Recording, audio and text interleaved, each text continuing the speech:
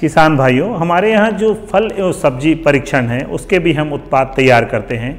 हमारे यहाँ इसके लिए भी एक इकाई है और वहाँ पे महिलाओं को प्रशिक्षण दिया जाता है। इससे हम विभिन्न प्रकार के जैम, जेली, अचार, मुरब्बा तैयार करते हैं और इसको भी हम किसानों तक, यहाँ तक पहुँचा रहे हैं। इसके अलावा, चूँकि जैविक खेती को इस समय बढ़ावा दिया जा रहा है, इसको देखते हुए हमारे यहाँ जैविक उर्वरक बनाने की इकाई लगाई गई है। इसमें हम rhizobium culture PSB azotobacter azospirillum जैव उर्वरक तैयार करते हैं और बहुत ही कम लागत में हम इसको किसानों तक पहुँचाने का प्रयास कर रहे हैं तथा इसके बारे में हम विभिन्न कृषि विज्ञान केंद्रों के माध्यम से किसानों को सलाह देते हैं कि जैविक खेती के लिए इनका प्रयोग ज़रूर करें। इनकी कीमत भी कम होती है इससे मृदा की उर्वरा शक्ति भी बने रहती है। इसी कड़ी में हमारे यहाँ एक छत्तीसगढ़ खेती त्रैमासिक पत्रिका का प्रकाशन किया जाता है। ये इसकी वार्षिक सदस्यता शुल्क हम लेते हैं और किसानों को घर बैठे उनके घर के पते से हम इनको पहुँचाने का कार्य करते हैं। ये त्रैमासिक पत्रिका है और इसमें जो लेटेस्ट, जो नवीनतम जानकारी है, उसको हम किसानों तक पहुंचाते हैं। हमारे यहाँ एक कृषि अभियांत्रिकी संकाय में एक इकाई है, जिसमें कि हम किसानों हेतु छोटे छोटे कृषि यंत्र, खासकर बैल चलित हस्त चालित कृषि यंत्र बनाते हैं। ये जो मेरे हाथ में देख रहे हैं मेज सेलर है, ये मक्के के दाने को निकालने का काम करता है। जब हम इसमें मक्के को घुमाते हैं तो उसका दाना आसानी से निकल जाता है और इसकी भी बहुत अच्छी डिमांड हमारे किसान भाइयों से आती है। हमारा उद्देश्य है कि हम इस कृषि उत्पाद केंद्र की सहायता से हम इस उत्पाद को किसानों तक पहुँचाएँ। प्यारे किसान भाइयों, इंदिरा गांधी कृषि विश्वविद्यालय के अंतर्गत एक महत्वपूर्ण इकाई है, जो निदेशालय विस्तार सेवाओं के नाम से संचालित है।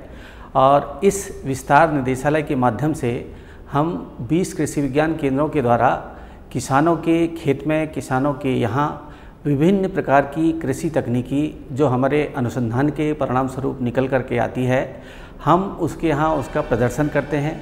और किसान को प्रशिक्षण के माध्यम से और तरह तरह से हम जो तकनीकी ज्ञान हमारे अनुसंधान निदेशालय के द्वारा सृजित होता है, उस ज्ञान को ट्रेनिंग के माध्यम से, उस ज्ञान को अग्रिम पंक्ति प्रदर्शन के माध्यम से, उस ज्ञान को तरह तरीके से हम लोग किसानों के यहाँ ले जाने का प्रयास करते हैं। और हमारे विस्तार निदेशालय के माध्यम से हमारा एक कृषि वैज्ञानिक कृषि प्रौद्योगिकी सूचना केंद्र यहाँ संचालित होता है। और इस संचार, इस कृषि सूचना केंद्र के माध्यम से हम लोगों ने एक उत्पाद कृषि केंद्र विकसित किया है और इसका सबसे बड़ा उद्देश्य जो हमारे कृषि के परिणाम स्वरूप जो तरह तरह की हमारी फ़सलें होती हैं, इन फ़सलों के संरक्षण के लिए, इनके प्रसंस्करण के लिए हम तरह तरह के उत्पाद हमारे उत्पाद केंद्र के माध्यम से हम बेचना चाहते हैं और ये सारे की सारे उत्पाद हमारे कृषि के परिणाम स्वरूप या कृषि के द्वारा जो तकनीकी ईजाद की गई है, उन्हीं का प्रतिफल है जो हम उत्पाद केंद्र के माध्यम से हमारे किसान भाइयों के लिए एक शुद्ध आहार के रूप में, शुद्ध तरीके से वैज्ञानिक पहलू के आधार पर जो ये प्रोडक्ट उत्पाद तैयार किए गए हैं, ये हम किसानों को उनकी सुविधा के लिए एक अच्छा शुद्ध उत्पाद जो है उनको उपलब्ध करा रहे हैं। और इसी कड़ी में हमारे तरह तरह के उत्पाद जो हैं, हमारे अनेक कृषि विज्ञान केंद्रों के द्वारा तैयार किए जाते हैं, जैसे जगदलपुर के द्वारा, कृषि विज्ञान कांकेर के द्वारा, हमारा कृषि विज्ञान केंद्र जो अंबिकापुर में है, उसी, उसके द्वारा जो है वो हनी तैयार किया जाता है, बहुत अच्छा शहद जो है उसके तैयार, के द्वारा तैयार किया जाता है, और इस प्रकार से अनेक उत्पाद हमारे कृषि विज्ञान केंद्र के द्वारा हमारे किसानों के लिए तैयार किए जाते हैं ताकि हमारी कृषि तकनीकी हमारे कृषि उत्पाद कृषि उत्पाद हमारे छत्तीसगढ़ राज्य के जन जन में और हमारे किसानों के पास तक पहुँच सके और वो हमारी तकनीकी से परिचित हों हमारे कृषि उत्पाद से परिचित हों और इनको अपना करके वो अपना विकास करें। ये लो और बताओ। बस। अरे ये क्या भैया जी? बस इतनी सी रासायनिक खाद। किसानी छोड़ रहे हो क्या? किसानी नहीं नादानी छोड़ रहे हैं। मिट्टी की जाँच कराई है। अब तो लाला जी जितनी ज़रूरत है उतने ही उर्वरक खेत में डालेंगे हाँ। किसान भाई आज ही अपने ज़िले की नजदीकी भूमि परीक्षण प्रयोगशाला में मिट्टी की जाँच ज़रूर करवाएँ और मिट्टी में पोषक तत्व नमी व पौधे के विकास को देखते हुए केवल ज़रूरत के अनुसार ही पोषक तत्व डालें। और हाँ मिट्टी में गंधक जस्ता बोरोन जैसे सूक्ष्म पोषक तत्वों का पता लगाना भी न भूलें। उर्वरक और जैविक खाद के सही उपयोग से भूमि का उपजाऊपन बनाए रखें उत्पादकता बढ़ाएँ, खर्चा घटाएँ और बहुमूल्य विदेशी मुद्रा बचाने में भी सहयोग दें। और हाँ धीमी गति से नाइट्रोजन उपलब्ध कराने वाले उर्वरकों जैसे नील लेपित यूरिया को प्राथमिकता दें और यूरिया का पत्तों पर छिड़काव करें।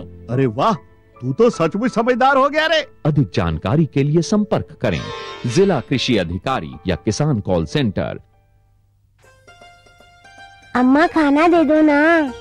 सबर कर गोलू। अभी दाल नहीं गली है। तू फ़िक्र ना कर गोलू की अम्मा। अब की बार अपनी दाल खूब गलेगी। क्या मतलब जी? अब की बार एनएफएसएम के तहत दाल की पैदावार को बढ़ाने के तरीकों को दिखाने के लिए देश में 1000 क्षेत्र चुने गए हैं जिसमें हमारा इलाका भी आ गया है। पर इससे हमें क्या फ़ायदा? हमें पाँच एकड़ खेती के लिए खाद और कीटनाशक के अलावा बढ़िया बीजों की एक मिनी किट भी मिलेगी। इतनी दाल का करेंगे क्या जी? अरे भगवान सरकार ने दलहन का समर्थन मूल्य भी खूब बढ़ा दिया है और इनकी खरीद का भी पूरा इंतज़ाम कर लिया है। इससे आमदनी बढ़ेगी और फिर हमारा गोलू अच्छे स्कूल में जा करके कृषि वैज्ञानिक बनेगा हाँ। क्या करूँ? हाँ हाँ मैं ऐसा ही करूँगा। हाँ। अच्छा मैं जा रहा हूँ। अच्छा।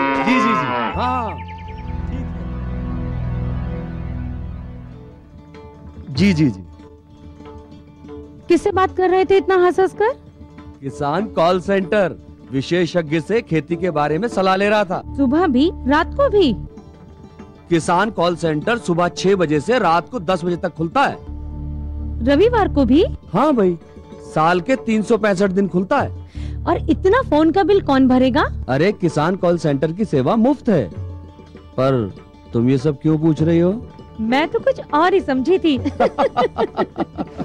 किसान भाई कृषि संबंधी समस्याओं का अपनी भाषा में तुरंत समाधान पाने के लिए पूरे भारत में किसी भी फ़ोन से राष्ट्रीय हेल्पलाइन नंबर एक आठ शून्य शून्य एक आठ शून्य एक पाँच पाँच एक पर संपर्क करें। किसानों का दोस्त किसान कॉल सेंटर।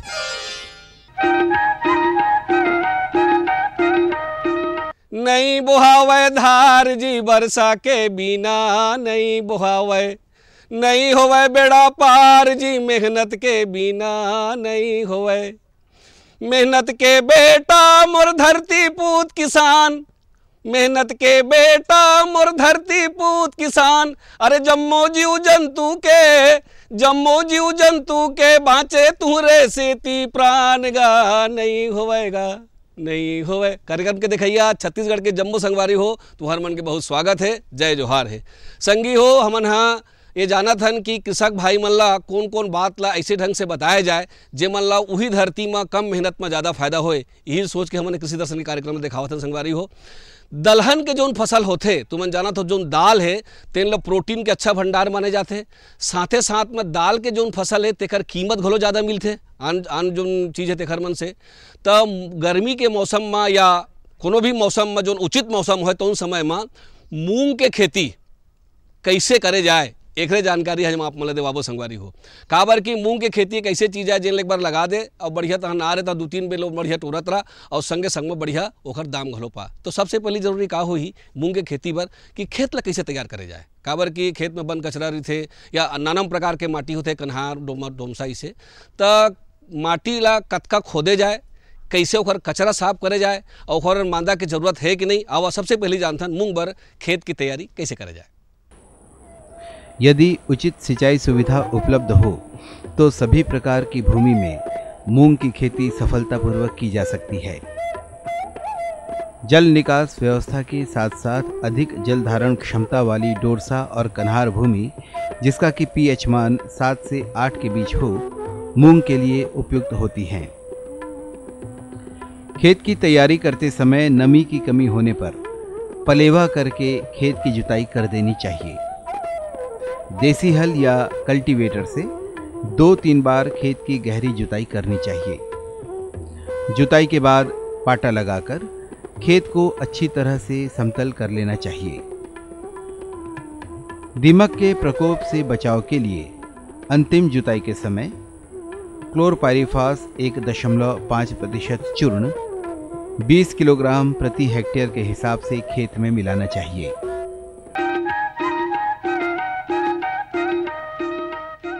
और दूसर महत्तम की चीज़ का होते हाँ? संगवारी, पानी, जल के प्रबंधन कैसे करे जाए? काबर अलग अलग फ़सल में पानी अलग अलग लागते। और एक बहुत अकन अलग अलग विधि घलो है दे के तो सबसे बढ़िया विधि का होही? और मूंग बर, शुरुआती में बीच में फूल फर के बेर में लगातार पानी कैसे देर लगी? अब जानी मूंग के खेती बर, जल के प्रबंधन। ग्रीष्म ऋतु में सिंचाई का विशेष महत्व होता है। पहली सिंचाई बोने के 20 दिन बाद और बाद की सिंचाइयाँ 10 से 15 दिन के अंतराल पर करनी चाहिए। सिंचाई करते समय इस बात का ध्यान रखें कि भूमि में पानी एकत्रित न हो। सिंचाई के लिए यदि ड्रिप इरिगेशन या टपक पद्धति का प्रयोग किया जाए तो ये किसानों के हित में होता है।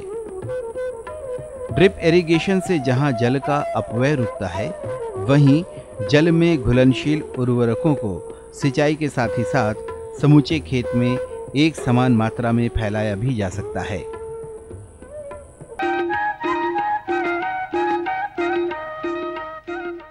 संगी हो, फर के प्राण होते खातू। जितका अच्छा खातू या जतका बढ़िया भूइया रही जिन बढ़िया खाद्य के तत्व रही, तेखर जोन फर होई, पौधा के तेन बढ़िया होते चिकन होते बहुत होते कस के फर थे, बीमारी घरों नहीं लगे।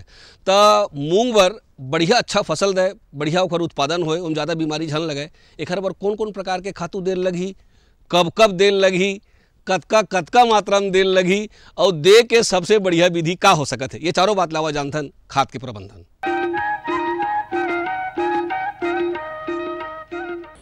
ग्रीष्म ऋतु में मूंग की फ़सल लेने के लिए बुआई के पहले कवकनाशी रसायन और राइजोबियम या पीएसबी कल्चर से बीज को उपचारित करें।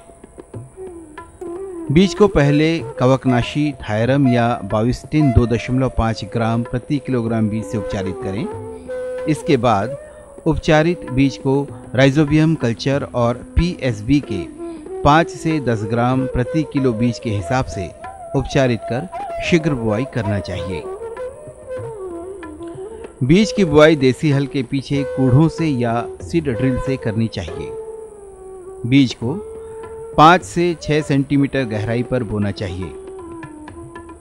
मूंग के लिए कतार से कतार की दूरी 30 सेंटीमीटर और पौधे से पौधे की दूरी 10 सेंटीमीटर उपयुक्त होती है। मूंग की फ़सल के लिए 15 से 20 किलोग्राम नत्रजन 50 से 60 किलोग्राम स्फूर और 20 किलोग्राम पोटाश प्रति हेक्टेयर देना चाहिए।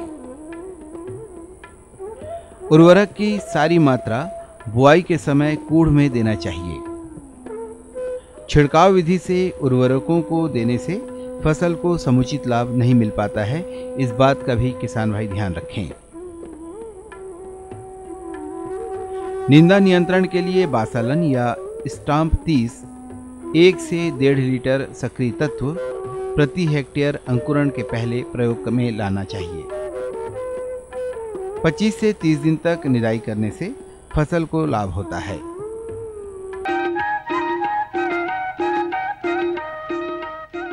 बढ़िया फ़सल तैयार है, सब कुछ बढ़िया संगी हो तो एक ठन चीज़ से भारी नुकसान हो डर रही थे, है ना? हाँ जान डरे तुमन है। रोग राई, कहूँ पौधा में रोग राई लगिस तो सारी फ़सल चौपट होते तो आवाओ, मूंग में कौन कौन से रोग लग सकते ओकर का का लक्षण है का का पहचान है, और कौन कौन से ऐसे बात है जल हम पहलील कर ले, वो तो रोग नहीं हो ही, या रोग हो जाए के बाद में का का दवाई चाहिए, कैसे छींचना चाहिए आवो जम्मो बात है जानथन, रोग के प्रबंधन मूंग के खेती में कैसे करे जाए?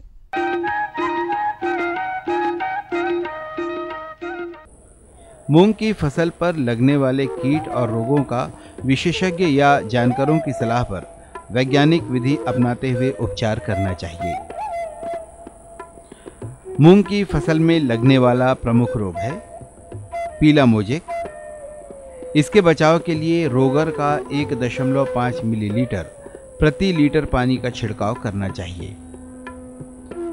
दूसरा प्रमुख रोग है भभूतिया रोग। इससे बचाव के लिए कार्बेंडाजिम एक ग्राम प्रति लीटर पानी का छिड़काव किया जाना चाहिए। मूंग का दलहनी फ़सलों में विशिष्ट स्थान है। पिछले कुछ वर्षों से मूंग के रकबे में छत्तीसगढ़ में काफ़ी वृद्धि देखी गई है। मूंग का उत्पादन हमारे राज्य में अत्यधिक हो इस बात की असीम संभावनाएँ हैं। हमारे राज्य में मूंग की फ़सल वांछित मात्रा में प्राप्त की जा सकती है यदि कुछ बातों के प्रति हमारे किसान बंधु सचेत हो जाएँ, जैसे मूंग की उचित किस्म का प्रयोग न किया जाना उर्वरक प्रबंधन में कमी, कीट और रोगों का व्यापक प्रकोप वगैरह। मूंग की फ़सल प्रकाश और तापक्रम के प्रति असंवेदनशील होती है, इसलिए इसे तीनों ऋतुओं में उगाया जा सकता है। मूंग की फ़सल कम अवधि की होती है, इस वजह से इसे फ़सल चक्र में आसानी से लिया जा सकता है। दलहनी फ़सल के पौधे की जड़ों पर उपस्थित ग्रंथियाँ वायुमंडलीय नत्रजन ग्रहण कर पौधों को उपलब्ध कराती हैं, जिससे कि भूमि की उर्वरा शक्ति बढ़ती है। साथ ही ये फ़सलें मिट्टी में कार्बनिक तत्वों को बढ़ाती हैं। जिन किसान भाइयों के पास सिंचाई की सुविधा है, वे ग्रीष्मकाल में मूंग की खेती कर अधिक उत्पादन और लाभ प्राप्त कर सकते हैं। किस्मों का चुनाव अधिक उत्पादन प्राप्त करने की एक प्राथमिक आवश्यकता होती है। के आठ सौ इक्यावन, पूसा सोलह एम एल तेरह टी ए आर एम एक T A M R M इक्कीस, पैरी एच यू एस बारह, प्रज्ञा, मालवीय ज्योति, पूसा विशाल जे एम सात सौ इक्कीस बी एम चार, पूसा पंचानवे इकतीस सी ओ छः ये सभी मूंग की उन्नत किस्में हैं। किसान भाइयों को ऐसी ही किस्मों का चयन करना चाहिए। इन उन्नत किस्मों में कीट और रोगों की संभावना अपेक्षाकृत कम होती है। वैसे तो मूंग की बुआई के लिए फरवरी माह का महीना अच्छा होता है, लेकिन विलंब होने की दशा में बुआई अप्रैल में भी की जा सकती है। इसके बाद बुआई करने से गर्मी में तेज वायु के चलने के कारण फूल झड़ सकते हैं और उत्पादन पर विपरीत प्रभाव पड़ सकता है। साथ ही फ़सल पकने के पहले मानसून से फ़सल को क्षति पहुँच सकती है। जब खेत में 80 से 90 प्रतिशत फलियाँ पककर काली पड़ने लगे, तब कटाई कर देनी चाहिए। फ़सल को सुखाकर गहाई करें और 10 से 12 प्रतिशत नमी पर भंडारण करना चाहिए। ग्रीष्मकालीन मूंग की फ़सल को फ़सल चक्र के रूप में अपनाना चाहिए। उदाहरण के तौर पर हम ये बताना चाहेंगे कि खरीफ में धान के बाद मूंग की फ़सल उगाने से मृदा की उर्वरा शक्ति बनी ही रहती है।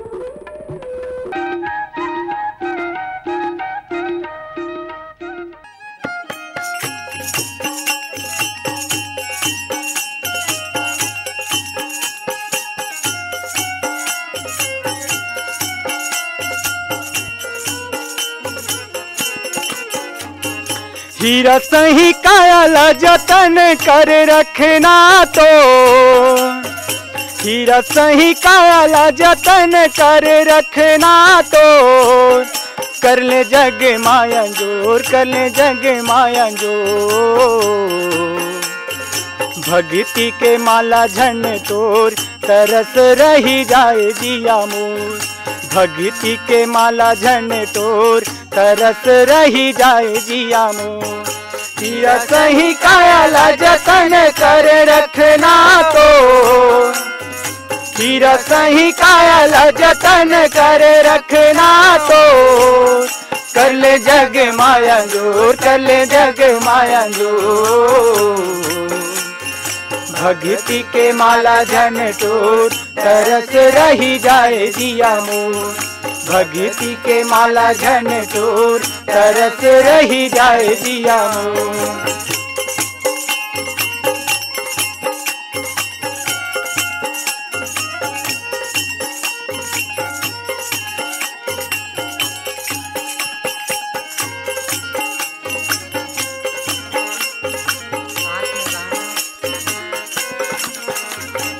छलकत नदिया के धार कस तनिर हृदय सगर लहराए।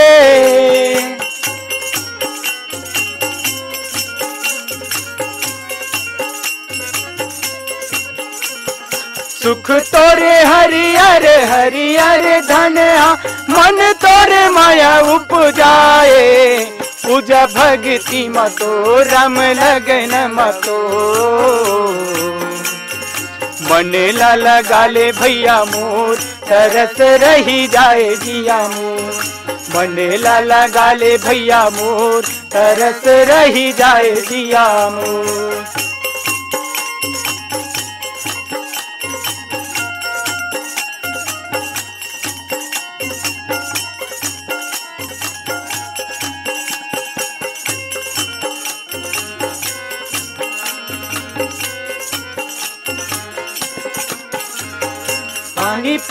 भक्ति के लगन लगा तन मन तोरे हरियाले।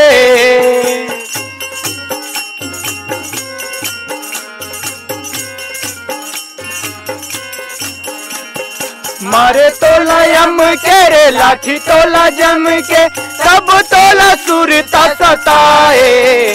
दिया ना कस भरे तोर, दिया ना कस भरे तोर। करे तोर भक्ति अंजोर तरस रही जाए जिया मोर। करे तोर भक्ति अंजोर तरस रही जाए जिया मोर। फिर सही काया जतन कर रखना तो। फिर सही काया जतन कर रखना तो। कर ले जगे माया ज़ोर कर ले जगे माया ज़ोर भगती के माला झन तोर तरस रही जाए जिया मोर। भगती के माला झन तोर तरस रही जाए जिया मोर। भगती के माला झन तोर तरस रही जाए जिया मोर। संगी हो, दलहन के खेती है नगदी पैसा दे बर बहुत बढ़िया चीज़ माने जाते संगवारी हो। ओकरे सेती आज हमन ह जौन विधि से मूंग के खेती करे बर बताए हन वही विधि से तू हमन मूंग लगावा और खूब कमावा। अवैया दरी बर फिर एक नवा विषय लेके तुम्हार सेवा में हाजिर होबो। तब तक बर जम्मो संगवारी मल्ला जय जोहार।